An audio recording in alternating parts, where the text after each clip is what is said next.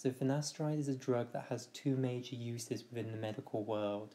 The first use is in the treatment of a condition called benign prostatic hypertrophy, or BPH for short. This is a condition that affects older men. So, as men age, the prostate gland gets larger and larger, and this is what we call benign prostatic hypertrophy. And the reason that this is an issue is that the glandular tissue can encroach inwards on the prostatic urethra that runs through it and can cause it to become narrower and narrower. And this can cause problems with passing urine. So, older men can often develop problems with passing urine due to BPH. Now, finasteride can be given in 5 milligram tablets once daily for the treatment of BPH and it works to actually shrink the prostate gland down.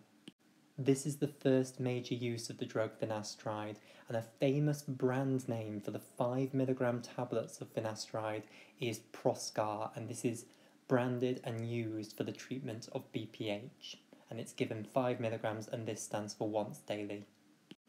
Finasteride's second major use, which is the topic for this video, is in the treatment of androgenic alopecia, which is also called male pattern baldness. This is the common form of hair loss experienced by most men within the world, and it begins in the late teenage years and continues and progresses throughout adulthood. Finasteride, as well as being effective at shrinking the prostate gland down, is also effective at stopping this type of hair loss, for this indication, it's given in a smaller dose, it's given in tablets that contain only 1 milligram, and again, it's given once daily. An example of a famous brand of finasteride 1 milligram tablets is the drug Propecia, and this is marketed for the treatment of androgenic alopecia. So, this drug is a tablet and it's taken once daily, and it needs to be taken indefinitely. And if it is taken reliably, it will stop the progression of further hair loss in most men who take it. Now, it does need to be taken indefinitely if you want the effect to continue. So, if you were to take it for a year, it would likely stop the progression of hair loss from the start of the treatment. But when you stop taking it, then the hair loss would restart. So, it doesn't cure the process, it controls the process whilst you're actually on the drug and it is remarkably effective. It usually does stop further hair loss. In some people, it even causes regrowth of the hair that's already been lost. It works by blocking the activity of an enzyme that's all over the body called 5 alpha reductase. Now, this enzyme is involved in converting the hormone testosterone, the male sex hormone, the main androgen hormone, into a more active form called dihydrotestosterone that is more powerful at activating the androgen receptor. Now, the main androgen that drives hair loss in men, the main androgen that drives androgenic alopecia is dihydrotestosterone. So, by reducing the level of this hormone within the body, you can stop or significantly reduce the hair loss process. Propecia can be prescribed by both primary care physicians and dermatologists. However, the main way that most men get it now in the modern world is from online doctors in the form of online pharmacists. So, all over the world, in growing numbers, there are online pharmacists where you can log onto your computer, go onto a website just by searching on Google buy finasteride, uh, and then you can place an order for some of these one milligram tablet finasteride tablets. One of the doctors that works for these online companies will then prescribe the drug for you. A pharmacist that works for that company will then dispense it and it will be sent in the mail to you and arrive on your doorstep. The drug is now so cheap that buying it on an online pharmacist is not that expensive at all. In the UK, I believe you can go onto online pharmacists and get a six month supply of Propecia 1 milligram tablets for around £60 and that will be delivered to your doorstep.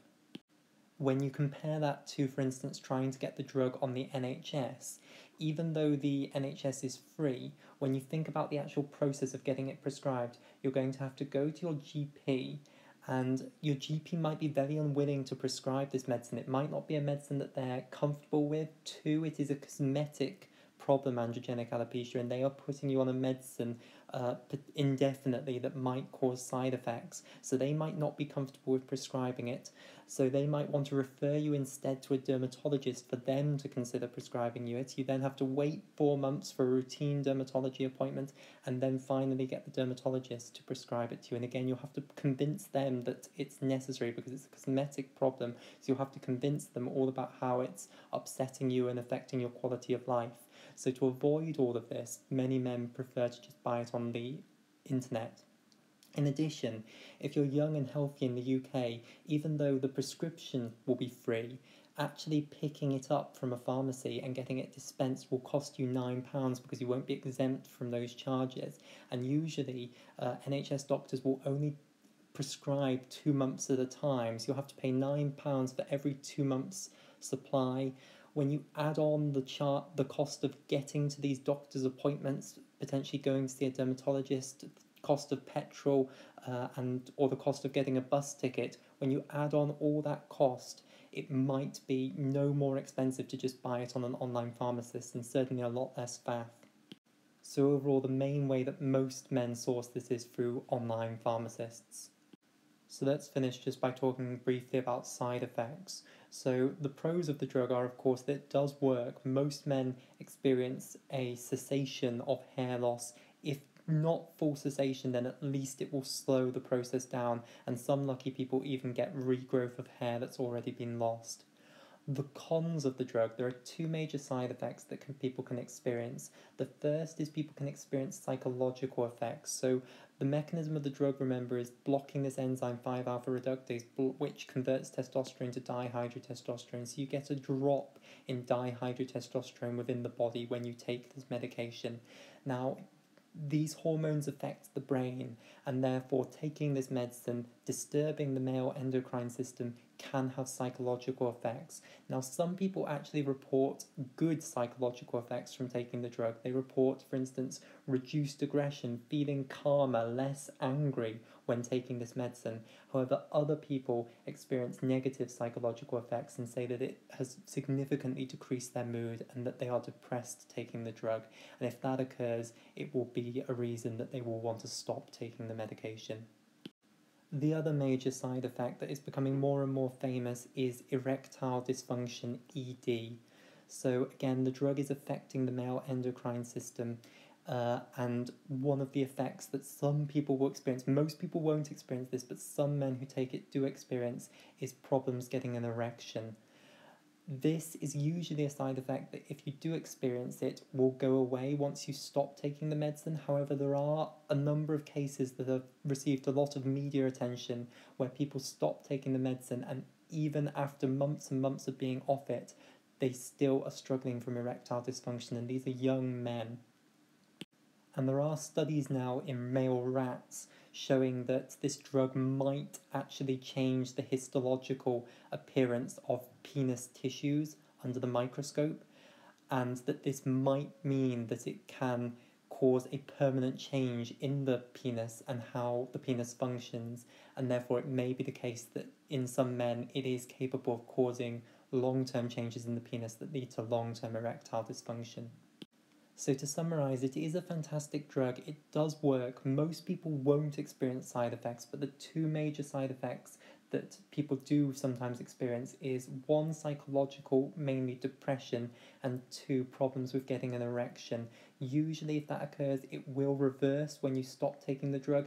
However, there are a group of people who say that they have taken this drug and then had permanent changes in the penis, and even though they've been off it for years, still cannot sustain an erection. And these, as I say, are young men generally.